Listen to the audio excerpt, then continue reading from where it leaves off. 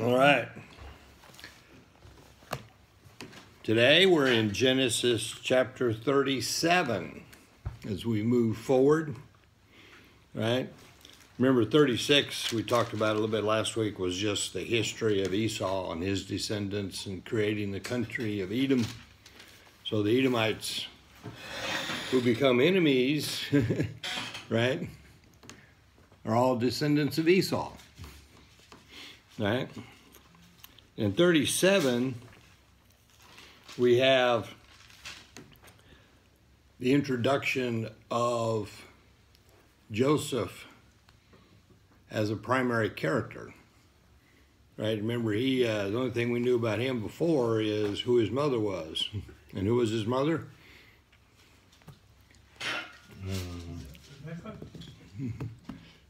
His favorite wife, Rachel. Yeah, Rebecca was his mother.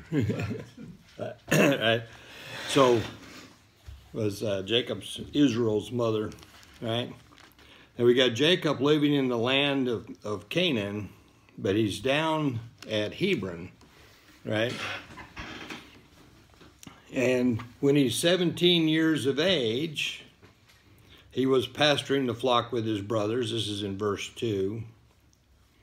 While he was still a youth, along with the sons of Bilhah and the sons of Zilpah, right, his father's wives, technically his concubines, and Joseph brought back a bad report about them to their father.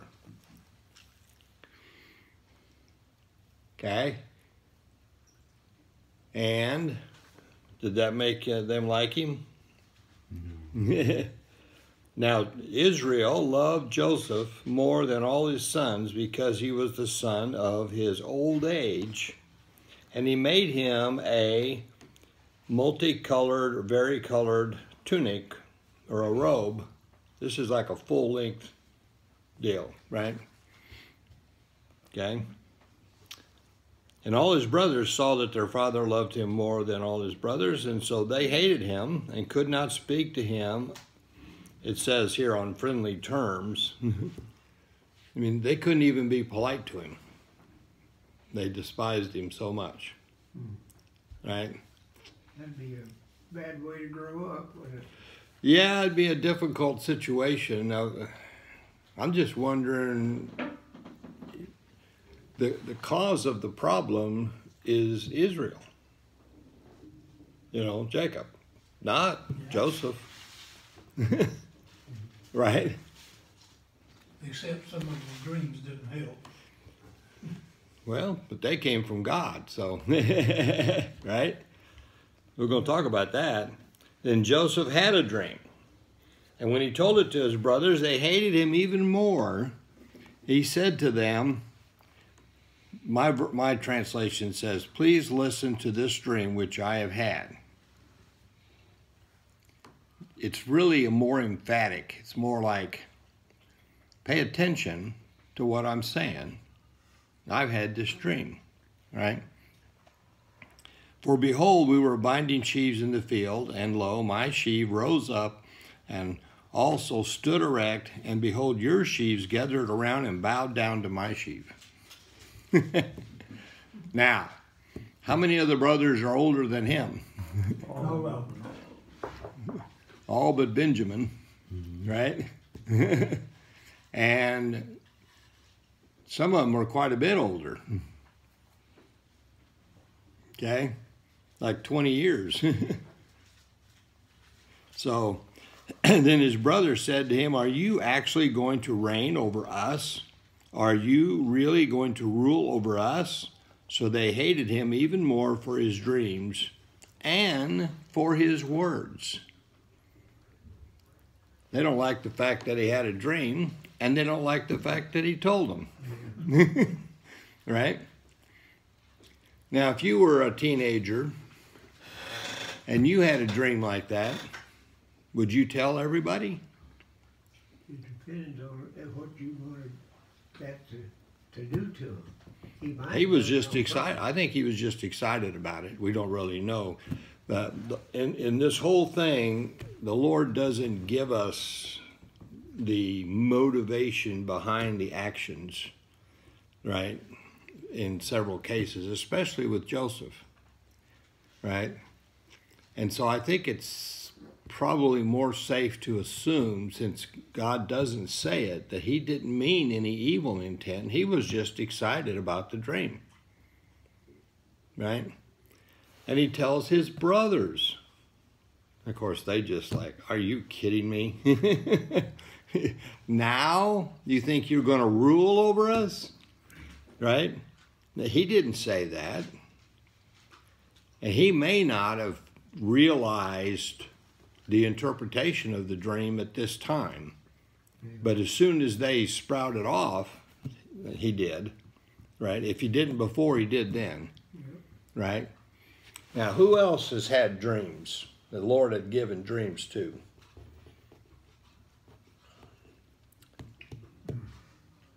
Especially in the family.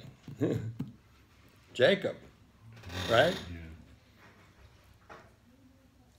And he had explained his dreams and his reasoning and why he was now so devoted to God, right?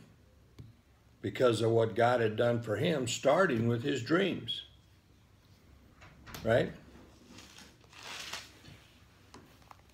So they, and that was a common practice, by the way, in those days, that dreams they thought were there to interpret and tell them something about the future. That was a common uh, opinion of people in this time, right? Does God ever give us dreams today? Mm-hmm. I think so, right? You know. We have dreams, and whether or not he gives them. well, how do you determine if it's something from God or just bad pizza?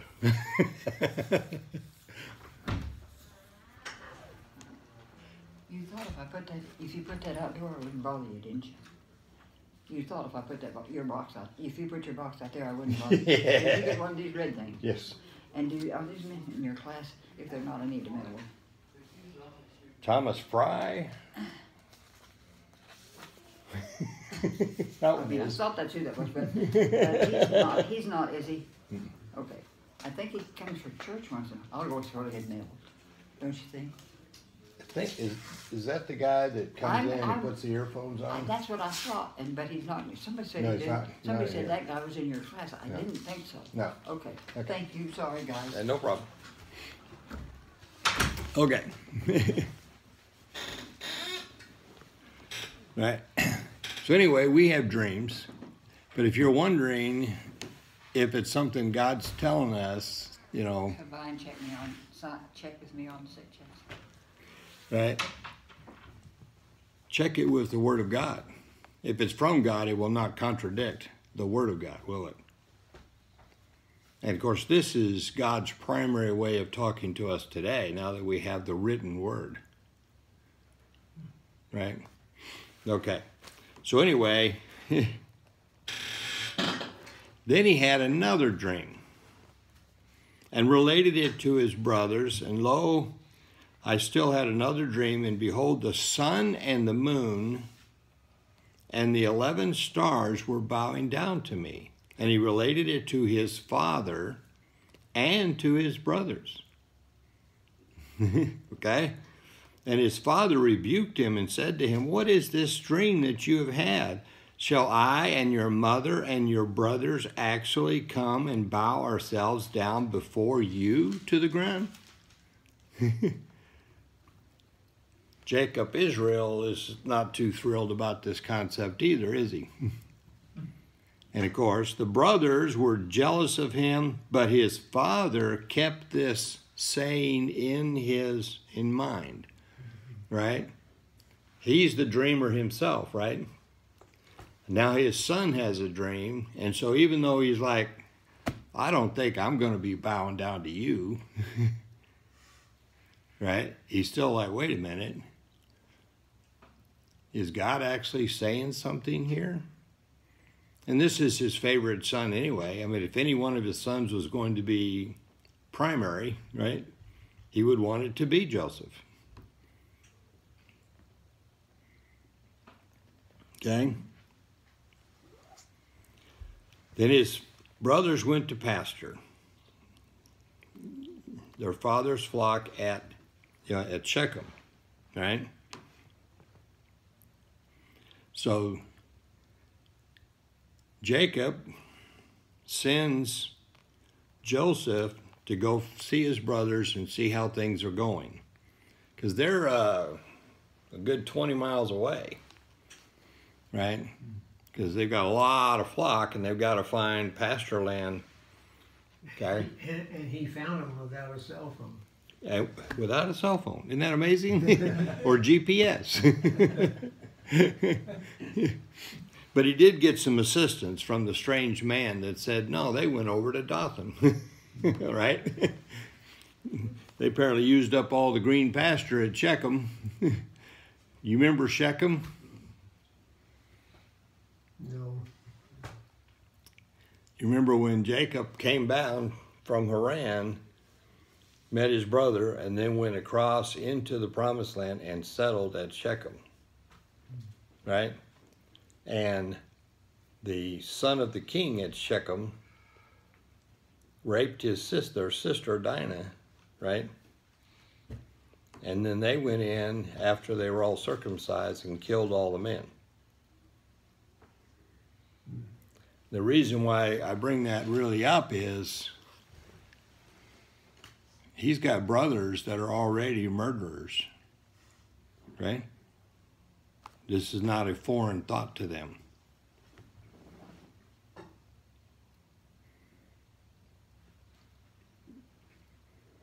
That's kind of a big deal. Yeah. Right? Okay.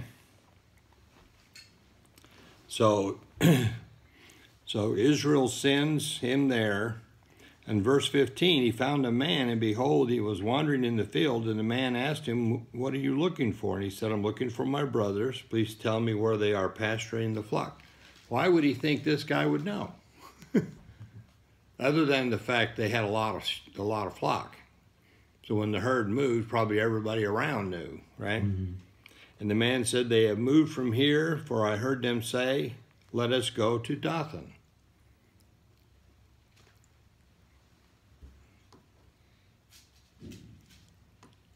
So it just puzzles me that the man would be in a position to hear them say that. Yeah. Who is this man? We don't have any other description, right? But somehow he was in their camp and heard them say this, right? So Joseph went after his brothers and found them at Dothan. But when they saw him from a distance, how did they recognize him? The coat. The coat. Before he came close, they plotted against him to put him to death. Whose idea was it to kill him? The brothers. Yeah, which one? Oh, the eldest? No. No. No. Not the eldest. The uh, Reuben, No, Reuben is the eldest. is Yeah. Probably the ones that went into Shechem and killed all the men there. Right? If you're already a murderer and you've already killed many men, you know, the idea of killing one more, even your brother, it doesn't bother you that much, does it? Right? But the rest of them went along with it. Right? They planned to kill him before he even got there. And they said to one another, here comes this dreamer. This word means more like Lord of Dreams, right? He's got big dreams, okay? Now then, come let us kill him. To, now, and throw him into one of the pits, and we will say a wild beast devoured him, and let us see what will become of his dreams, right? This word kill means to slay or to slaughter not the same word used in the sixth commandment that says thou shalt not murder. They don't want to be guilty of murder right? They're just going to slay him. You know they're mixing words because they are a little concerned about how god's going to react to them killing their brother. Okay? But there's like, what's going to become of his dreams then when he's laying in the bottom of the pit? And will tell his dad, you know, that a wild beast tore him up. Now, but Reuben, the oldest, heard this and and rescued him out of their hands and said, Let us not take his life. Reuben further said to them, Shed no blood, throw him into this pit that is in the wilderness, but do not lay hands on him, right? And he's speaking with some urgency here, right? That he might rescue him out of their hands to restore him to his father. Now, why would Reuben change his mind? Why would he say, let's not kill him?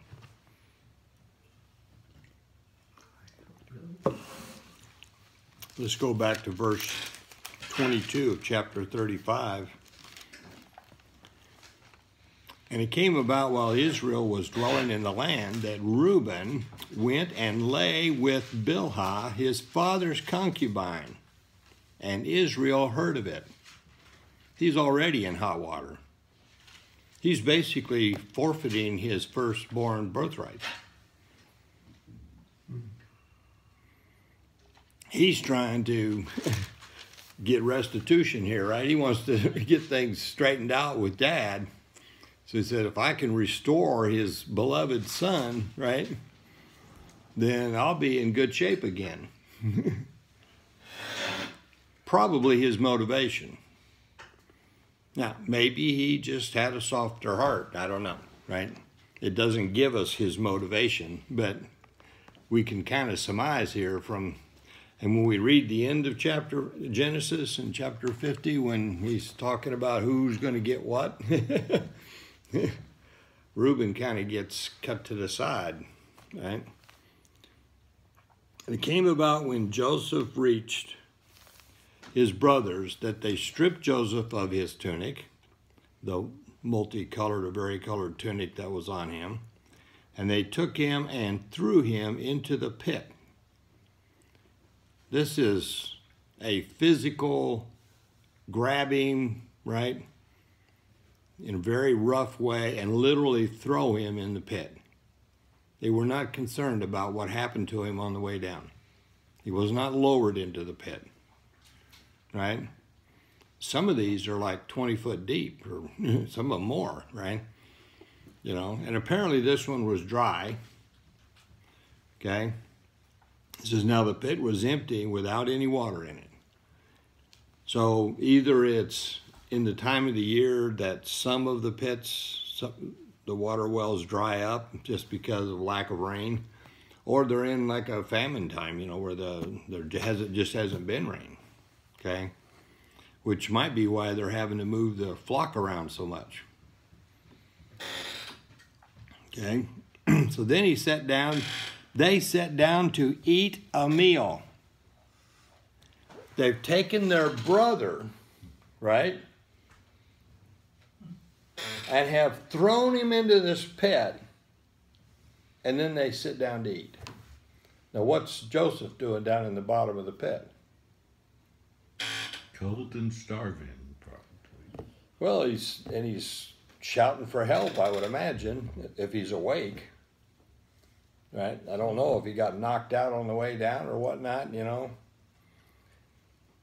But they knew he was alive because they decide here in a minute what to do with him next. Okay. So they're like, okay. And they just, how callous to just sit down and eat while he's crying for help, probably. What did they eat?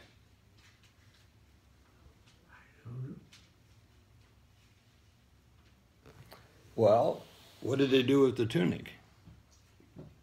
They killed a lamb and to get the They killed a goat, right? blood. To get the blood. What so? What do you think they ate? Probably the goat. Right? Probably. They wouldn't have just wasted it, would they? For Joseph, they brought food. You know. they didn't have some. I'm guessing they ate the goat they killed, right? I'm not sure that I ever ate a goat, so I'm not, I don't know that that's edible. But Apparently it is. Oh yeah. I just it just amazes me the callousness here of his brothers. Just just kind of off the chart to me. These are the sons of Jacob Israel, right? Who now is walking very closely with God, right? After his dreams and how God's taken care of him, right? You know, and to have his sons act this way, just uh, it's just mind-boggling, right? And they raised their eyes and looked, and behold, a caravan of Ishmaelites was coming from Gilead. Who are the Ishmaelites? Descendants of Ishmael. Yeah, and who's Ishmael? Ishmael is uh, Isaac's brother. Right? Isaac's brother. Yeah, exactly. Abraham's son by the maid, right? Okay, is coming from Gilead. Gilead, you know, remember, is on the eastern side of the Jordan. The, the grasslands over there, but this is where the trade route goes. Okay, so they're they're there, and here they come with their camels bearing aromatic gum and balm and myrrh on their way to bring them down to Egypt. You know what's interesting? A little bit later, when the famine hits really hard and Israel sends the brothers to Egypt to get food, what does he send as a present for the king? But gum and balm and myrrh, right? Basically the same stuff. right? So anyway, I don't know why it's important to know that, but God included in here what they were taking in both cases. right? And Judah said to his brothers, What profit is it for us to kill our brother and cover up his blood? Come, let us sell him to the Ishmaelites and not lay our hands on him, for he is our brother, our own flesh, and his brothers listen to him. So Judah's like, well, he's our, you know, he is our brother. We shouldn't kill him, right? But it's okay to sell him in slavery and make some money. Let's profit off of this.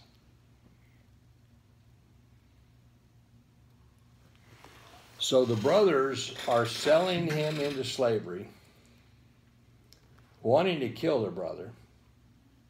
Judah is now saying, no, no, let's, let's not kill him, but let's make a profit and we're still going to deceive our father, right? Who are these guys? His brother. Who are they in history?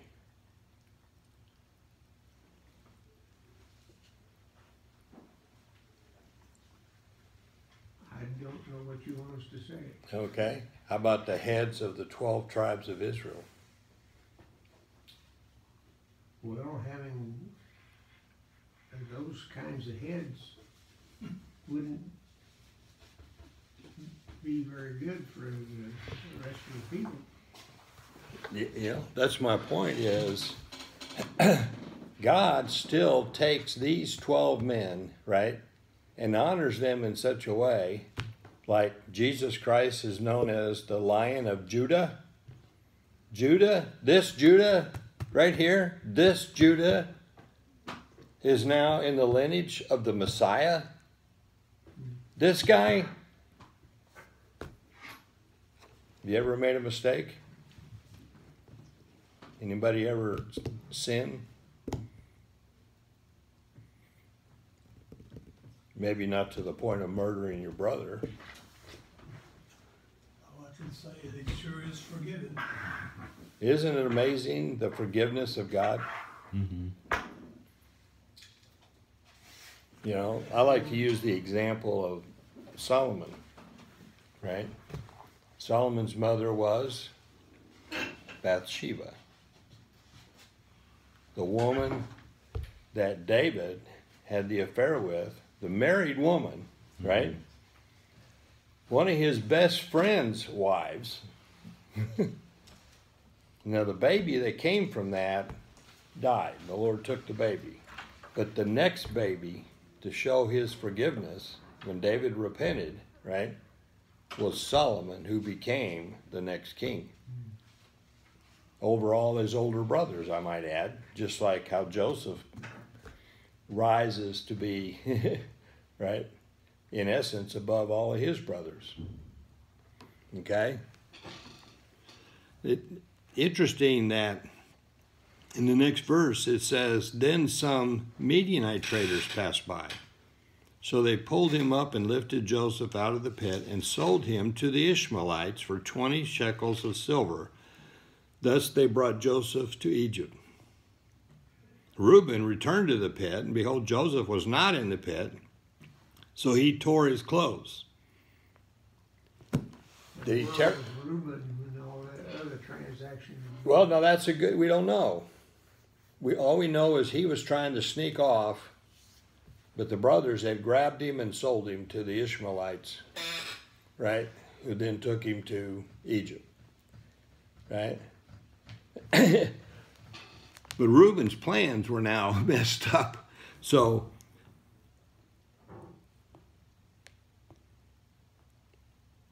I don't know that he was upset about what happened to Joseph, or he just was upset that his plans to restore himself to his father were destroyed.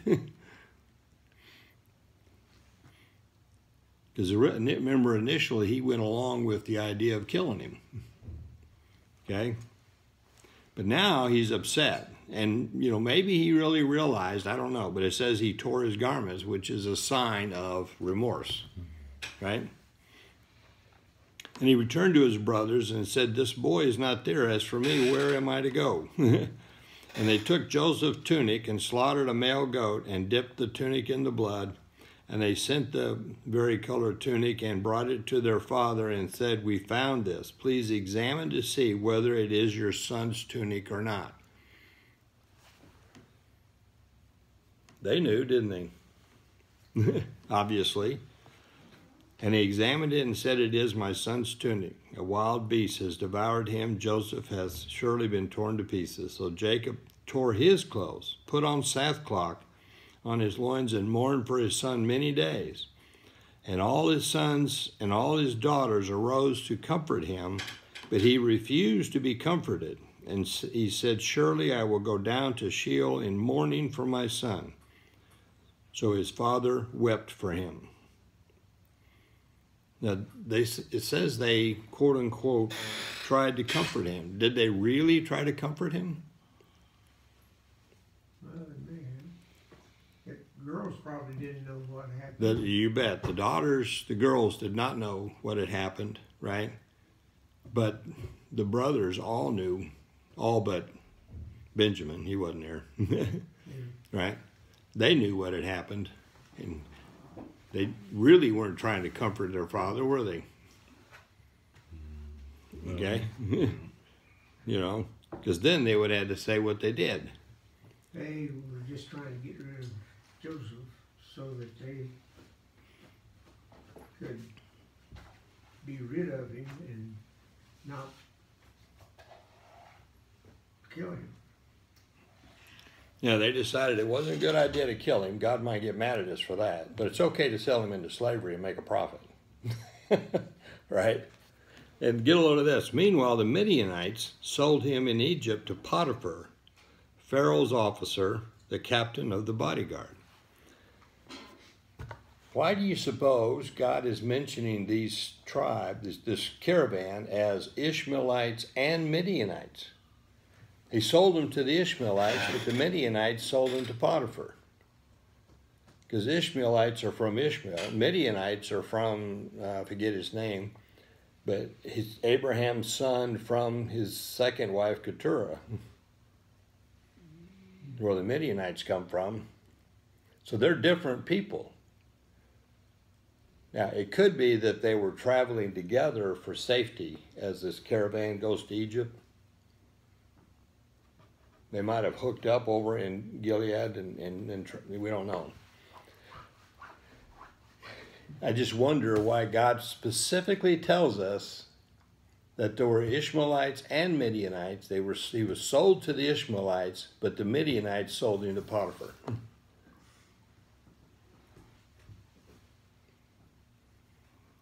in my commentaries, there was no answer to that. You know? Midianites pulled him out of the cistern, right? Well, the brothers pulled him out Oh, and then presented him to the and said, "Hey, we got a slave for you." oh okay. But since he was all messed up from being thrown into the pit, they only got 20 pieces of silver because the normal price for a slave was 30 pieces of silver. Even, which tells you something about the economy, how many years later was Jesus sold as a slave? 33 or He was, you know, well, you know, he was, uh, uh, Judas, you know, betrayed him for 30 pieces of silver, which was the price of a slave, right? And it had been that price for about 1,500 years. So we didn't have inflation back in those days. Like we do today we have, we have an economy that's based on inflation, based on, you know, because it's a debt based economy. You know, not a whole nother story. But the point being is that when he's sold for only 20 pieces of silver, I'm assuming it's because he was kind of messed up, being pitched into the pit. okay? But now he's in Egypt.